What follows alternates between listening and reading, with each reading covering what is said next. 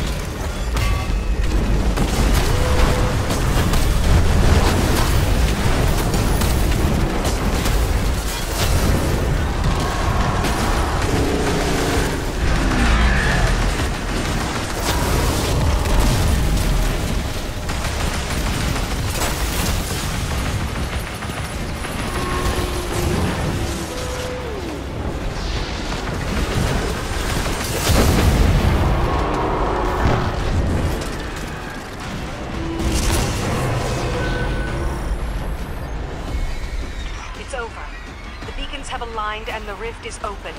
Bring Artekian home.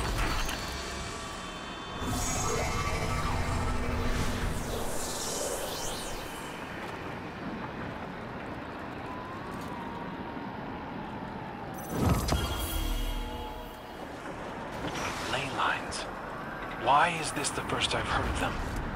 Savathun never mentioned them. Not even when we were hunting Xivu Arath's High Celebrant through the Ascendant Plane. We awoke and understand many forgotten cosmic truths. The existence of ley lines is but one. Savathun knows of them too.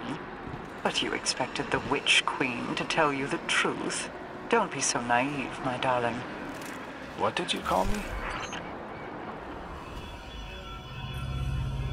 I knew you'd be back. I'm so glad we get to talk. You and that charming little ghost of yours, you're not like the rest. You're not afraid of my words. Words are just thoughts given shape. Ideas emerging into the physical world, birthed by a mouth. Not good or evil, not light or dark, or this or that. And you understand, don't you? Despite the excruciatingly binary worldview of those around you. You don't have to say it. We've all heard it before. The line between light and dark is so very thin. As if you were incapable of lifting your eyes from a scroll of chalk on the ground. The traveler in the light near one foot your old enemies and the darkness at the other. Let me tell you a secret. If you ever want to see what's been watching you since the very beginning, just stand on that line and look